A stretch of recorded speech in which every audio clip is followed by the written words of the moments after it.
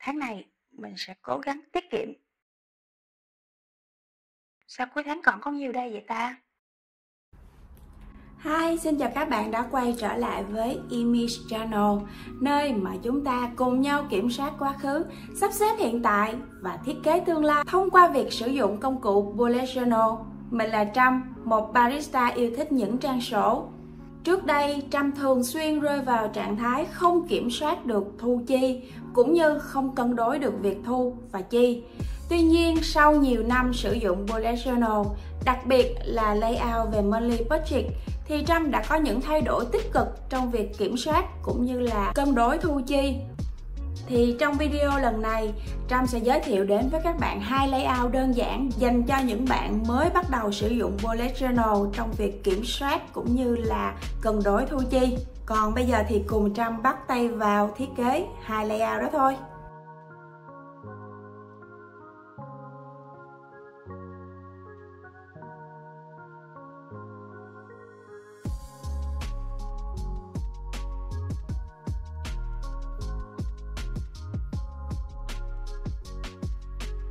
Layout đầu tiên dành cho những bạn đang có những khoản nợ.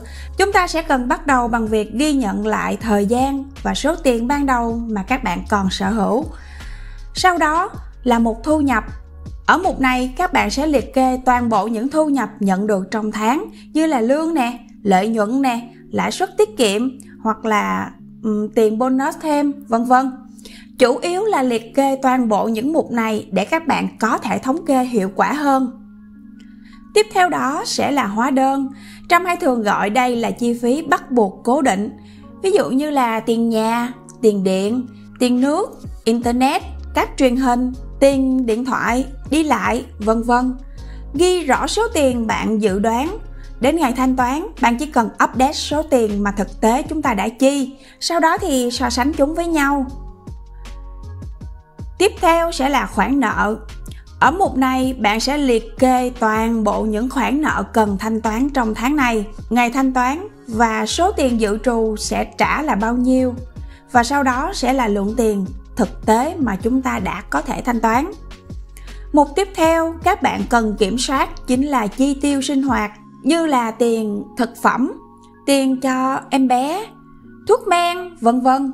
Ở mục này Trâm sẽ chia cụ thể như các bạn sẽ chi tiêu cho mục gì, việc gì, loại chi tiêu là gì, hạn mức nó sẽ là bao nhiêu. Sau khi chi khoản tiền này, bạn sẽ ghi chép số tiền vào cột thực tế.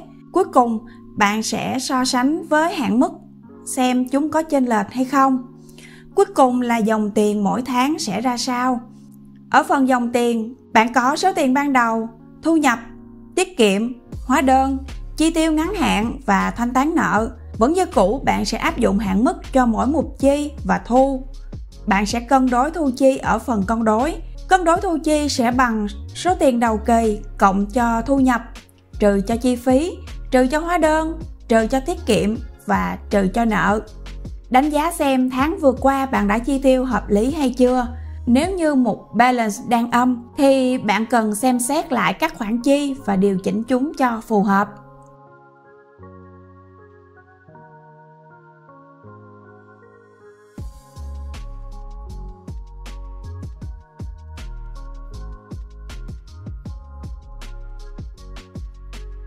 Sang layout thứ hai có phần là đơn giản hơn. Đầu tiên là tổng hạn mức chi tiêu của tháng, sau đó bạn sẽ chia nhỏ chúng thành từng tuần và từng ngày. Tiếp theo sẽ là một thu nhập. Tương tự như layout đầu tiên vẫn sẽ là nguồn thu, hạn mức chi tiêu và thực tế. Sau đó sẽ là chi phí cố định hàng tháng và trong layout này thì Trâm có thêm một danh sách những điều mà bạn muốn sở hữu, đó là wishlist. Những điều mà bạn muốn sở hữu, bạn chỉ cần liệt kê chúng vào đây. Riêng phần chi tiêu, bạn sẽ quản lý theo tuần. Ở mỗi tuần đã có hạn mức chi tiêu, bạn chỉ cần sử dụng chúng đúng số tiền mà bạn đã lên từ trước và khi tiêu xài cho mục nào, bạn sẽ viết chúng xuống theo từng tuần mà bạn đang sử dụng Cuối mỗi tuần, bạn sẽ tổng kết số tiền mà đã dùng trong thực tế. Trâm còn có thêm một phần nữa đó là cân đối, giúp cho bạn dễ dàng kiểm tra toàn bộ chi tiêu của mình. Riêng layout này thì Trâm sẽ sử dụng một vài màu sắc để layout trông dễ thương hơn. Bạn có thể kết hợp nhiều màu lại với nhau, tuy nhiên thì Trâm chỉ dùng hai màu chủ đạo mà thôi.